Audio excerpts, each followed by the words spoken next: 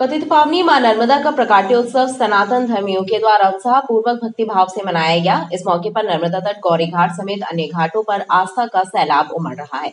भक्तों ने विधिवत मारेवा का पूजन कर दान किया और सुख समृद्धि की कामना की।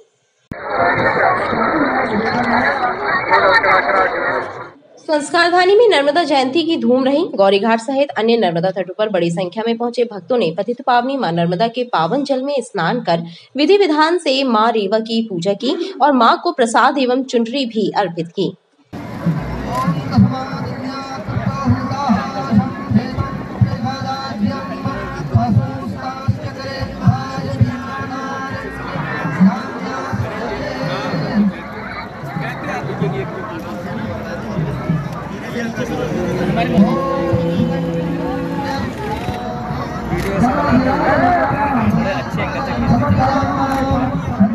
सनातन धर्मियों के लिए नर्मदा जयंती का विशेष महत्व है और यही वजह है कि नर्मदा प्रकाट्य उत्सव पर संस्कारधानी में उत्सव सा माहौल रहा और माँ नर्मदा के दर्शन मात्र से ही कई श्रद्धालु अपने आप को धन्य मानते हुए भक्ति में लीन नज़र आए।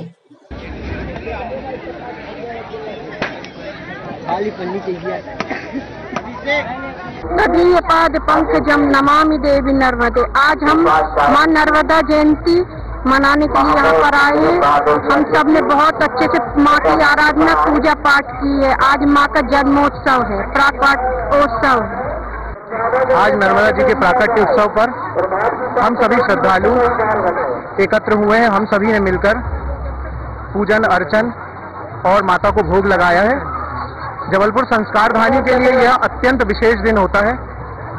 आज माता नर्मदा का प्राकट्य उत्सव है। हम सभी श्रद्धालु बढ़ चढ़कर हिस्सा लेते हैं। जो हो सकता है माता की सेवा करते हैं और सभी परिवार के साथ माता का प्राकट्य उत्सव मनाते हैं। नर्मदा जयंती जबलपुर का एक बहुत फ़ेमस और बहुत ऑस्पिशियस ओकेजन है, जिसमें हम सब आते हैं नर्मदा जी और ये त्यौहार मनाते हैं।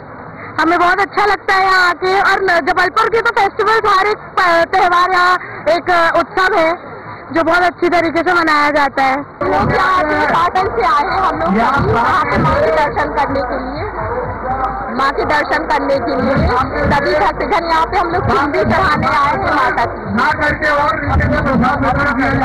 हम लोग नराता जयंती के उपलक्ष्य में आए हैं यहाँ पर। हाँ। और माता की खिचड़ी चढ़ाने आए हैं। इस अवसर पर धार्मिक कार्यक्रमों का भी आयोजन हुआ। वहीं श्रद्धालुओं की सुरक्षा के लिहाज से घाट पर होमगार्ड के जवान भी तैनात रहे।